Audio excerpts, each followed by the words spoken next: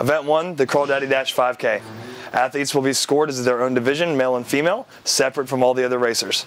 They will run with all other racers for the Crawdaddy Dash. All athletes will be time chipped. Your timer chip will start when you go across the start line and will stop when you finish. Athletes have one hour to complete the event, and that will be event one.